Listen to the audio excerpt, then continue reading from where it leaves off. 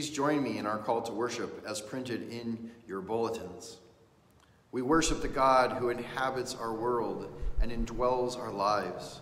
We need not look up to find God. We need only look around, within ourselves, beyond ourselves, into the eyes of another. We need not listen for a distant thunder to find God. We need only listen to the music of life, the words of children, the questions of the curious, the rhythm of the heartbeat. We worship the God who inhabits our world and who indwells our lives. We come to worship, to hear God's word, to gather our hearts, and to be equipped to love and serve alongside you, O living, calling, good news God. We come, we come to, worship to worship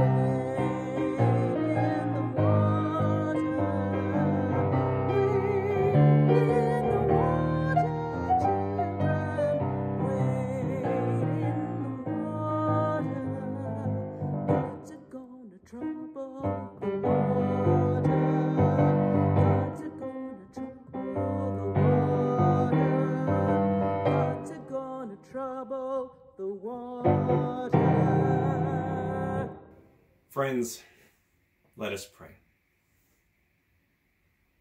We turn to you often, O God, as we seek through prayer to find the meaning of life. Sometimes it's a fervent prayer in the midst of serious meditation, but more often it's a fleeting prayer on the run. We pray for patience, and there are too many things to be done. We pray that you will awaken us to hear the cries of the poor, the homeless, the brokenhearted. Help us to redirect more of our resources to clothe the naked and feed the hungry. Mold us, O God, and open our hearts and minds to be willing vessels of your Spirit. In your word, we know how a scribe said to you, Jesus, I will follow you wherever you go. And you bluntly responded, Following me isn't easy. We want to follow you, Jesus. But we, like your disciples, struggle with doubt and fear. Our doubt and fear take over, often clouding our understanding of your miraculous love. You ask them, Why are you afraid, you of little faith? You ask us the same thing today. We confess our fear of the unknown. We confess our need to be in control. We confess our inability to trust you completely. Forgive us. Encourage us. Teach us to follow even when we don't think we can anymore. even though faith often is not easy, replace our doubts with faithfulness, our fears with courage, and our apathy with love. We have taken time to admit some things that we want or need to change. A mistake, some guilt, a lie, the brokenness of it all. Something somehow has made us feel distant from you. But in Jesus Christ, we can be assured we are not distant. We have been heard. We are loved and we are forgiven. Knowing we are forgiven, we are bold to bring our prayers to you. May we embody you, O Christ, in all we do. We pray all of these things, confident of your love, grateful for your faithfulness, and in awe of all you've done as we pray the prayer you taught, saying, Our Father, who art in heaven, hallowed be thy name. Thy kingdom come, thy will be done, on earth as it is in heaven. Give us this day our daily bread, and forgive us our debts, as we forgive our debtors. And lead us not into temptation, but deliver us from evil. For thine is the kingdom, and the power, and the glory forever. Amen.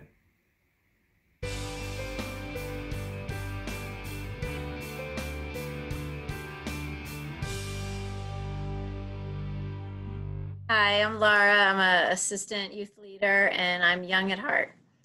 Hi, I'm Abby and I'm 14 years old. What's up? I'm Greg. I'm 17 years old. I'm Tiernan and I'm 17 years old. I'm Josie and I'm 13 years old. I'm Erica and I'm 15 years old. I'm Christopher and I'm 17 years old. Hi, I'm Doug and I am an honorary teenager. Hi, I'm Haley and I'm 18 years old. Hello, I'm Paige and I'm also 18. Hi, I'm Katie. I am the youth leader here, and we are Hopewell Presbyterian Church's youth group. The verse we want to talk to you all about today is Micah 6 8. And here's how that goes What does the Lord require of you? But to do justice, love mercy, and walk humbly with your God. We like this Bible verse because the Lord doesn't require us to be perfect. He only requires that we are just, merciful, and humble. Uh, what we like about this verse is that uh, the verse talks about like ways of action and ways of life and not basing it on anyone's physical appearance or anything like that. And it also tells us how we're perfectly imperfect and God just wants us to keep trying. I really love this verse. Um, it is short, it is easy to remember, and it is crystal clear on how I should respond. That's one of my favorite verses in the entire Bible. And we found a story that we think serves as a really great example of how we can live out that verse. And it's a story from history. This is a book that my parents used to read to me when I was younger, and it's called The Children's Book of Home and Family. And inside of it is a story called Jane Addams and Hull House. And the description is pretty great. It says, Here is the story of a woman who showed the world what it means to be a good neighbor. So we hope this story inspires you all to think of ways that you can live out Micah 6 8 in your own lives. So I hope you enjoy the story and illustrations by one of our very own students, Abby Bleichart. Let's listen. Jane Addams was six years old when she set out with her father one day on an errand. They passed through a poor part of town where the streets were shabby and all the houses looked sad. Why do people live in such horrid little houses built so close together? Jane asked. They don't want to live here, her father explained. But these people are very poor. Most of them never went to school. They don't have a chance to move to nicer homes. Jane thought about that for a minute and made up her mind.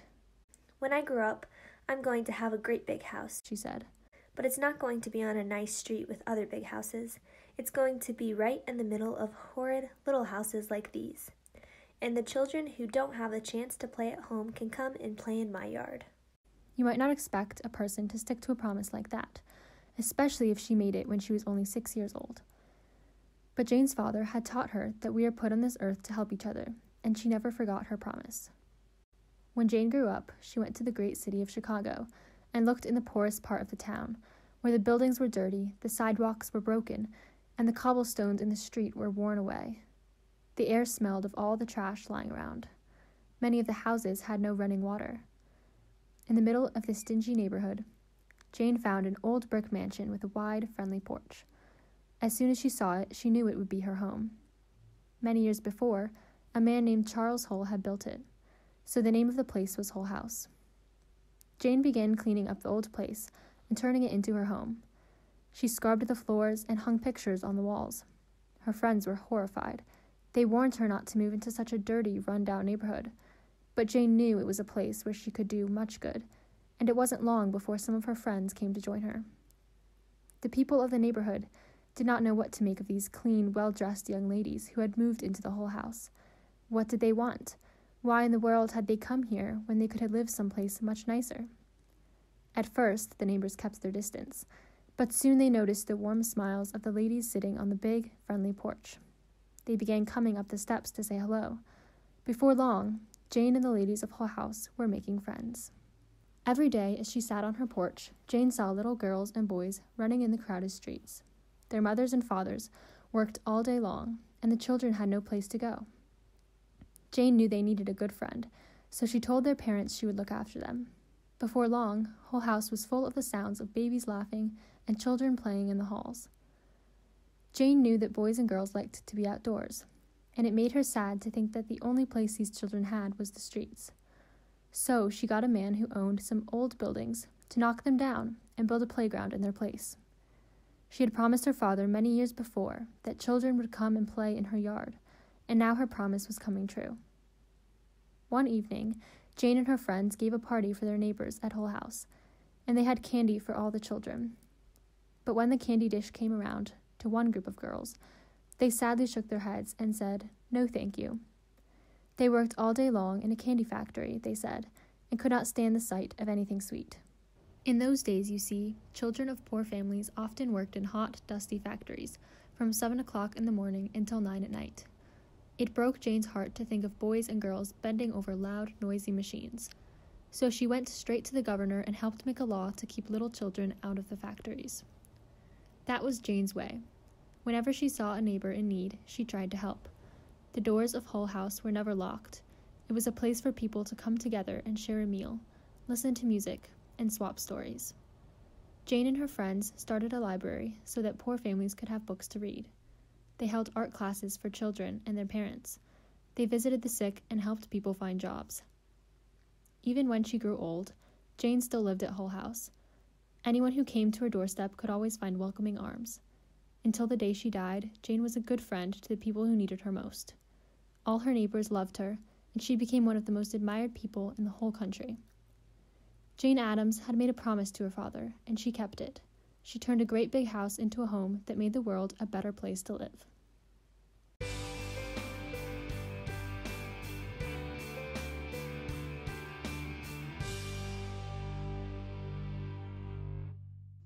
Good morning to you. Our scripture lesson is taken this morning from First Thessalonians, the fifth chapter, verses 16 through 18, and they read thus. Rejoice always, pray without ceasing, give thanks in all circumstances, for this is the will of God in Christ Jesus for you. Let us pray. Come now, O Lord, in power and in might. Let the words of my mouth and the meditations of our hearts be acceptable in your sight, O God, our strength and our Redeemer. Amen. It is often uh, the case that the best title for a sermon comes to us straight out of the biblical text. and such is the case this morning with my title for this sermon In all things, give thanks. These words come to us from the great Apostle Paul. Some would say they come from the greatest preacher this side of Jesus Christ. But he encourages us this morning by saying to us, in all things, in everything, give thanks. This great apostle was credited with eventually bringing the gospel to Europe. His greatness stems from the fact that he took the gospel far and wide, which included places like Thessalonica. Thessalonica was a great city, rebuilt by Cassander and renamed after his wife, the daughter of Philip of Macedon, and half sister of Alexander the Great. It is impossible to overstate the importance of the arrival of Christianity to this great city. For when Christianity was settled there, it spread east until all of Asia was conquered, and west until it stormed the city of Rome. One writer said that the coming of Christianity to Thessalonica was crucial in the making of it into a world religion. Paul endured much suffering and duress in his efforts to bring the gospel to Thessalonica. I marvel at how often in our day, whenever we encounter opposition in our work for Christ, we begin to question our call and God's claim on our lives. In 25 years of teaching at Princeton Seminary, I have seen any number of students come to the school with great hope and promise for Christian ministry. But some do not last a year before they become disillusioned with the instruction and formation that the seminary offers. They see the foundational work that we do in seminary as not being worthy of their time, or in the case of some, actually slowing them down from the real work of Christian ministry. So they drop out. Others leave at the first challenge to long held beliefs. Opposition to their beliefs is so discouraging to some that they decide that the seminary is just not for them. Not so with Paul. He did not allow himself to be deterred by opposition to his beliefs or disappointment with those who claim to be adherents to the faith. In the face of stiff opposition, even to the point of threatening his life, he forged ahead with the work God had called him to do. Paul came to the city of Thessalonica on his second missionary journey around AD 50. He began immediately to debate with the Jews in the city out of the scriptures with reference to the death and resurrection of Jesus Christ. Luke says Paul spent three Sabbath days in Thessalonica, teaching and preaching. But there were those in the city who grew jealous about Paul's ministry. So they incited a riot against him and his companions. So much trouble did his opponents raise that Paul had to be smuggled out of Thessalonica to the city of Berea. After a while, Paul was so eager to know how the work was going in Thessalonica that he sent Timothy back to that city to get a report on the Christian witness he had planted there. There was good news from Timothy. The affection of the Thessalonians for Paul was strong and secure. Many of them continued to stand fast in their faith. The news about his work in Thessalonica brought great joy to Paul. But as is the case in so many of our churches and so much of our work, the news was not all good coming out of Thessalonica. Paul had been so effective in his preaching about the second coming of the Lord that some people had stopped working and had abandoned all ordinary pursuits, awaiting the second coming with a kind of hysterical expectancy. Some in the city, misunderstanding their new freedom in Christ Jesus, were despising lawful authority. Others were in danger of relapsing into immorality. And of course, there were some in the church unhappy with Paul's leadership, so they continued to badmouth him, falsely claiming that Paul preached the gospel for what he could get out of it. It does not matter how sincere you are. There will always be those who question your motives for the work that you do on behalf of Jesus Christ. We can understand Paul giving thanks to God for the things that had gone well in Thessalonica. But Paul said, in all things, give thanks. He is also saying that he gives thanks to God for the things that were not going well in Thessalonica people quitting their jobs, refusing to work because they misunderstood his teachings on the second coming of Christ, Christians refusing to obey the laws of the land because they misunderstood their new freedom in Christ Jesus, people backsliding in the congregation, going back to acting like they acted before they accepted Christ, and of course, hell raisers in the church grumbling about Paul's leadership. Is he saying give thanks for that kind of stuff also? Really?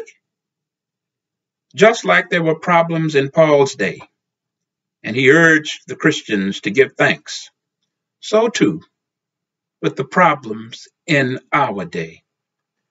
We are urged to give thanks in all things we find ourselves living through a season of uncertainty, turmoil, and despair. Countries throughout the world are being visited by the grim reaper. It seems as if biblical prophecy, in a manner of speaking, is being fulfilled in our day in a very menacing way. We live in a time of war and rumors of war nations rising against nation and kingdom against kingdom. There are famines and pestilences and earthquakes in various places. According to Jesus in Matthew 24, these are but the beginning of sorrows. In our day, even to this very hour, the world is beset by a pandemic of humongous proportion. To date, 102 million people are infected by COVID 19 throughout the world, and over 2.2 million are dead. The United States, that leads the world in infections, at the time of this recording, over 26 million Americans are infected, and some 443,000 are dead. We have a vaccine now to protect us from the virus, and we have a government trying to get the vaccine to millions of people who need and want it. We are hoping and praying that the government can quickly get this pandemic under control. More and more Americans are experiencing food insecurity, and thousands line up each day for food in America. In America, suicides are up, even among our young people. Many have given up hope that a better day is possible. Domestic violence is on the rise. Police stations across the country report an increase in domestic abuse phone calls, where families are struggling to live in close quarters with one another, each and every day. We, one and all, are living through a very difficult time in life. In the scriptures before us, we find some hope, some words of comfort and succor for those who are struggling to make it another day. In the midst of all that we are experiencing, the Apostle Paul speaks to the people of his day and also to ours with these words In all things, give thanks. Actually, we find a trio of admonitions in verses 16 through 18. Always rejoice, pray without ceasing, and in all things give thanks. The admonition that claims our attention today is the third one. In all things, give thanks. Paul is not here simply handing out helpful hints for hurtful habits. Rather, he is here modeling behavior. He is not asking of us what he has not tried to live in his own life. Listen to him as he recounts his own sufferings in 2 Corinthians chapter 12, 25. Listen to Paul. Five times I have received from the Jews the 40 lashes minus one. Three times I was beaten with rods. Once I received a stoning. Three times I was shipwrecked. For a night and a day I was adrift at sea on frequent journeys, in danger from rivers, danger from bandits, danger from my own people, danger from Gentiles, danger in the city, danger in the wilderness, danger at sea, danger from false brothers and sisters, in hardship through many a sleepless night, hungry and thirsty, often without food, cold and naked, and besides other things, I am under daily pressure because of my anxiety for all the churches. Listen to the apostle. And yet he says, in all things, give thanks. Rejoice always. Pray without ceasing and in all things give thanks. Most of us would want to adjust Paul's words and qualify his blanket exhortation. Any number of us, myself included, would have preferred for Paul to say, in some situations, give thanks.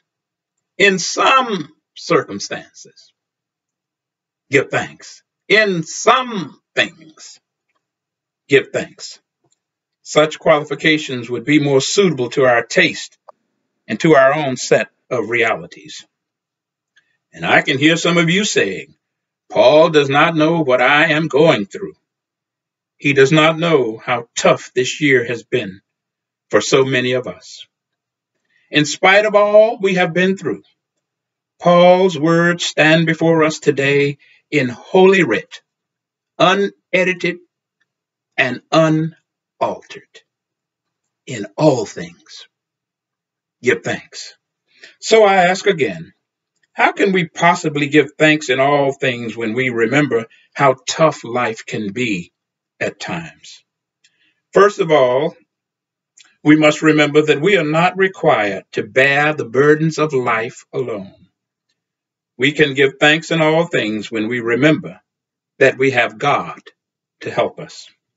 Paul reminds us in Romans 8 28 that all things work together for good to them that love the Lord, to those who are the called according to his purpose. In this life, there are terrible things that happen to us, unfortunate things, unfair things, unbelievable things, sad and terrible things irreversible and unchangeable things, things that hurt us and terribly disappoint us, things from which we never fully recover, things that make us different people for the rest of our lives, things so horrible and hideous that we will carry their memory to our grave. But we must always remember that God is at work in and through those things to bring about good. Second, I would like to remind us that we can give thanks in all things, no matter what befalls us, when we seek to please and honor God and do His will.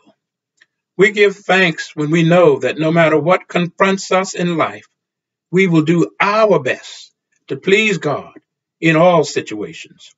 In time, in a time of great need and great sorrow, Christians ought to ask themselves, did we do our best to help those who were hurting? Did we do our best as agents of God's redemptive purposes on earth to make this world a better world in spite of what we were going through? Did we look around to help others who were hurting more than we? Third, we can give thanks in everything when we remember that God is there also. On another occasion, Paul and Silas were thrown into prison in Philippi with their feet fastened in the stocks. What did they do? They sang hymns. They praised God, for they recognized that God was with them in their suffering. God has promised never to leave us, never to leave us alone. Fourth, we can give thanks in everything when we remember that there is no circumstance God cannot use for his purposes. We are told in the book of James to count it all joy when we fall into different kinds of temptations. Why? Because God is the only one I know who can step into a bad situation and bring good out of it somehow in remarkable ways. Even what is truly bad to us becomes something that God can use for his glory and for his honor. Fifth, we can give thanks in everything when we remember that God's wisdom is greater than ours. In our church, in the black church in which I grew up in Texas, we used to sing a song that said in part, We cannot see in the future. We cannot see through dark trials, but walk on by faith each day. On Monday, walk on. On Tuesday, walk on. Let Jesus be your guide. He's able to carry the load, for he can see way down the road. Walk on by faith each day. Finally, and this is a true story, there is always something for which to give thanks. Even on the darkest day, there are blessings to count. The wife of a Texas pastor was diagnosed with Alzheimer's disease, and near the end of her life, she no longer recognized her husband of 50 years of marriage. He looked after her 24 7 and kept her at home to look after her himself. One night, as they prepared for bed, she asked him to leave the room because she no longer recognized who he was. She said, Who are you? I don't know you. He said, I'm your husband of 50 years. She said, I don't know you. And she asked him to leave. And so, as not to upset her anymore, he decided to walk down the hall to the spare bedroom. And as he walked down the hall, he could hear his wife suffering from Alzheimer's disease. He could hear his wife praying, saying, Lord Jesus, I thank you tonight for protecting me from that man. Lord Jesus, I thank you that you did not let that man hurt me. And when the pastor got to the spare bedroom, he fell down on his knees and he said, Lord Jesus, I want to thank you tonight for even though my wife has forgotten me, she has not forgotten you in all things. In all things. give thanks. And the people of God said, Amen. Please join me now in a covenant prayer of recommitment to justice. O God, who has created your children to be free, we attest in word and deed that you are our God and we are your people. From our earliest days, as the people whom you intend to be free, O God, you have called us forth from self seeking bondage, comfort, complacency, and complaint to freeing and redeeming action for justice everywhere in the world. You are our freeing God, and we would be your free and freeing people. O God of Exodus and the burning bush, of the prophets and of Jesus, we hear your powerful calling to be your servants in the service of all those who are oppressed. At every turn, we hear your voice in the cries of the poor, the hungry, the imprisoned, and the broken. For you have made yourself one with those who seek justice, freedom, and peace. We share a vision, a promise, and a yearning for the day of your reign, O God. You are our servant God, and we would be your serving people. O God, our sustainer, search our hearts and reveal to us our sinfulness, all the ways that we contribute to injustice and to self destroying bondage. Give us deep courage to find the true path of your way, ready to give our very selves as living sacrifices for your will. We heard your calling. Hear us now as we make our pledge. All rise if able.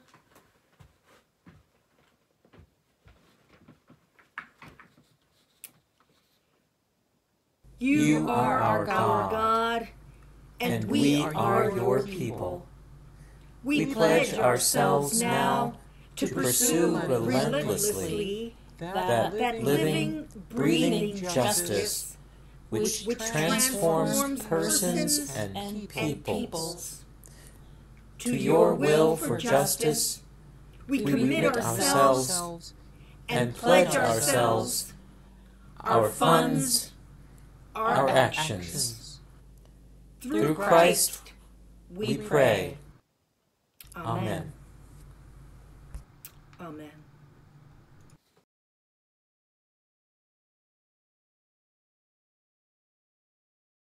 I'm Pastor Jessica, the interim pastor at Forked River Presbyterian Church down on the Jersey Shore. And I wanted to introduce you to our Hunger Action Team ministry. This is one of the most vibrant ministries in our congregation and certainly one of the ones that didn't skip a beat in 2020.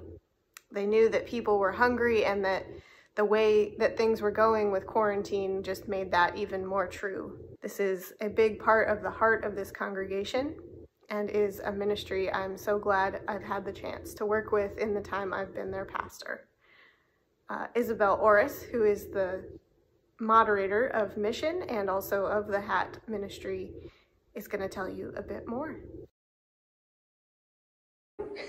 I am Isabel Orris. Yeah, I am the chairperson of HAT, um, which is run through the Mission Committee of our church. HAT supplies fresh produce to the Lacey Food Bank on a monthly basis, um, in addition to supporting financially other endeavors that are going on within our community that has to do with food and hunger. Um, how many people are involved in the, that work with the Lacey Food Bank and the free meal program that you guys participate Right. in? Um, our, our committee is basically about 10 people. It goes up and down, but in addition to which, our committee, the whole congregation is part of it because they, they support us financially and with any program we have going on, they they do support us, and we couldn't do it without them. Members of my committee and see how caring and wonderful they are. And, um, and secondly, um, to know that through our efforts, we are giving food, fresh produce, which many of the food banks do not give out. We supply that to the people, and, um, and that's important. Because I believe we have to look beyond ourselves, beyond the walls of our church, and reach out to the people in need. And um, I think we are filling that need to a very small degree, but we are filling it. And that's important to me. I think it's important to help, to interact with the community, and to be there for them when they need us.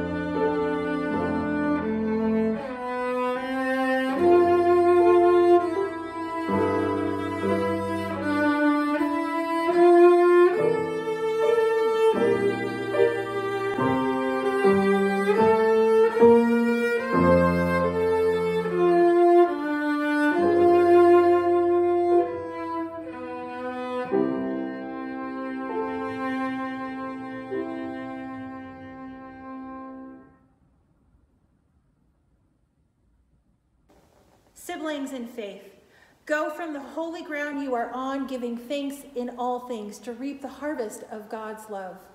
Go from the holy ground you are on to continue to sow seeds of justice and peace and God's mercy. Go from the holy ground you are on to nourish and be nourished, knowing that God is ever a part of our lives, our service, and our journey. And now may our Creator, Savior, and sustaining God keep you and bless you and go with you in peace. Amen and amen.